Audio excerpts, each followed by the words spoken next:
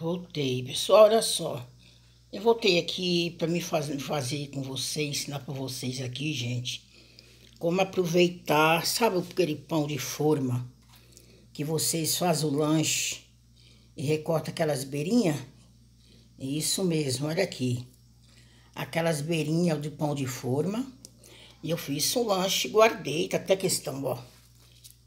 Sequinho, tá vendo? Tá muito, mas Tá murchinho, tá quase seco. Então, isso. Então, gente, aqui vamos fazer um pudim para aproveitar essas beirinhas de pão, de forma. Então, aqui, pessoal, eu tenho, é um saco inteiro de, de pão de forma. Aquelas beirinhas eu tirei de um saco inteiro, tá? Eu tô usando o pão aqui, mas vocês podem usar qualquer pão, tá bom? E aqui, olha só, eu tenho uma, uma caixinha de leite condensado. Aqui eu tenho uma colher de sobremesa de canela com cravo em pó. Quatro ovos, 400 ml de leite, meia xícara de coco ralado. E então, gente, aqui, ó, eu tenho essa forma. Tá aqui, ó, uma calda que eu fiz, mas eu deixei ela dura assim, tipo, bem firme. Olha, para essa calda eu usei uma xícara de 240 ml de açúcar e meia xícara de água. Quando tiver bem dissolvido todo o açúcar, você dissolve aí com meia xícara de água e vai mexendo até engrossar. Então aqui, ó, no liquidificador, eu vou colocar aqui, gente, Olha só, vou colocar o leite. Vou colocar também, ó, os ovos, quatro ovos inteiros.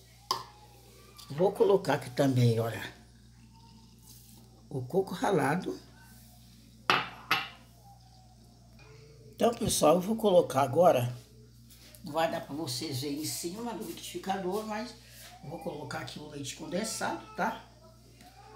Colocar o leite condensado aqui todo.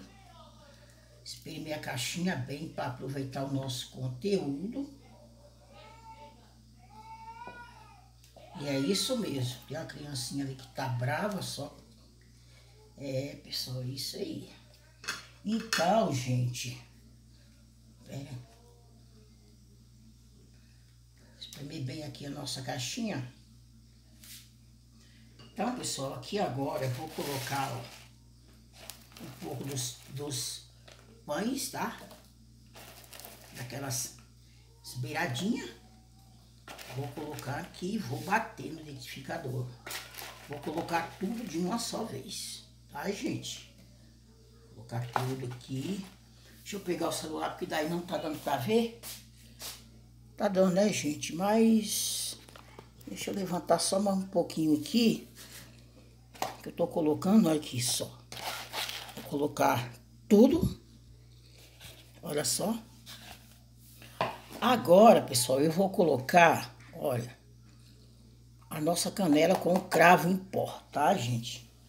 Aí, se vocês não tiver cravo em pó, depois que vocês bater no liquidificador, antes de colocar na forma, vocês colocam é, cravos, sabe? Cravo, você coloca o cravo os, os gruminhos, né? Os, as sementinhas inteiras, porque eu não tenho inteiro.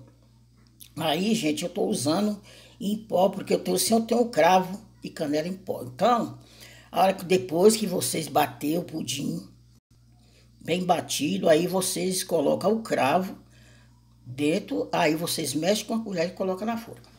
Certo? Vou bater aqui e já mostro pra vocês. Gente, esqueci de mostrar pra vocês, olha só. Meia xícara, tá? de creme de leite, tá bom, gente? Meia xícara de creme de leite, tá bom?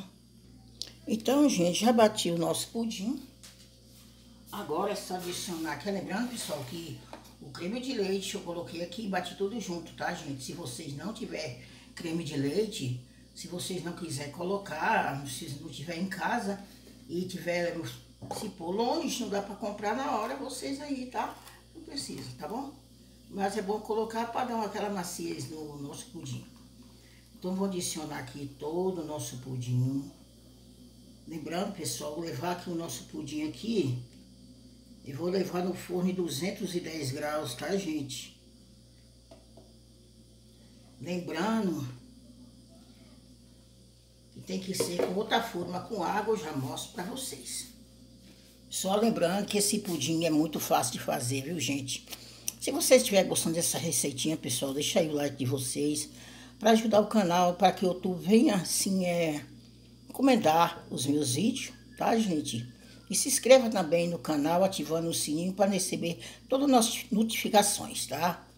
E é isso mesmo, gente. Então, vou pegar a forma com água, porque eu esqueci, já mostro para vocês. Então, pessoal, aqui tá a forma, ó, com 500 ml de água. Aqui eu tenho, ó, 4 colheres de sopa de é, vinagre, tá? Vamos colocar aqui, ó, para que esse vinagre? Para que a nossa forma não venha ficar preta, tá, gente? Pode mexer aqui com a mão mesmo, tá? Nossa forma não ficar preta.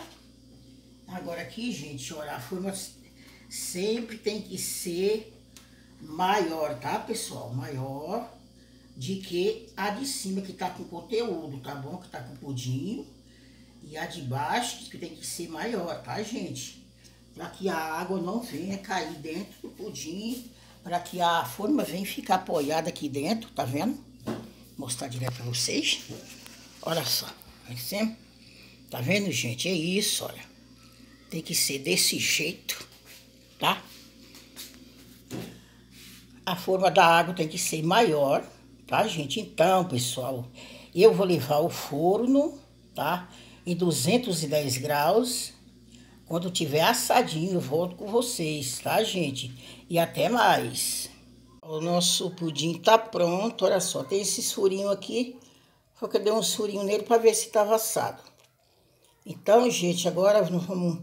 Eu vou desenformar ele aqui, ó. Nessa tampa. Então, gente, vamos desenformar o nosso pudim.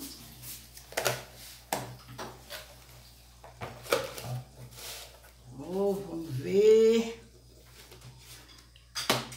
Hum, gente, olha só. Só quebrou um pedacinho aqui, olha, pessoal. Judiação, né? Ficou aqui um pouco de calda, mas pode colocar aqui um pouquinho de água esquentar para jogar aqui em cima dele. Mas assim ficou lindo, né, pessoal? Olha só que lindo. Então, gente, olha só. Vou colocar aqui por cima.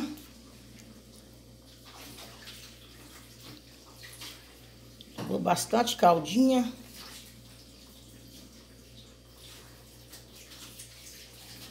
Agora aqui, pessoal, só levar na geladeira para gelar e aí pode servir.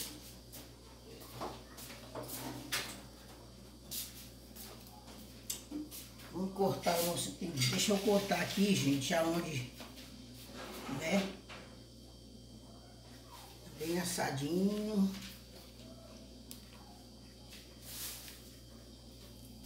Olha só. Colocar aqui no prato.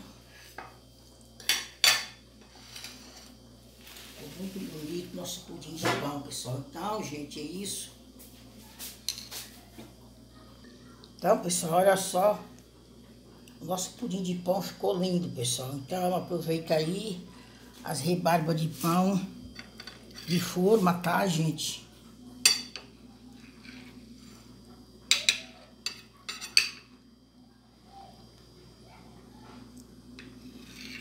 Só que delícia. E ele ainda, pessoal, tá super quente, viu? Quando ele esfriar, ele vai ficar mais firme. Então, gente, aí ficamos por aqui. Lembrando que, ó, dizer pra vocês, pessoal. Espero que vocês tenham gostado, viu? Olha, você se inscreva no canal, vocês não são inscritos. Ativa, pessoal, o sininho de notificações, tá bom? Pra você receber os vídeos aí em primeira mão. Então, gente, deixa aquele joinha para ajudar o canal. E até o próximo vídeo. Deus que abençoe a todos. Tchau, tchau.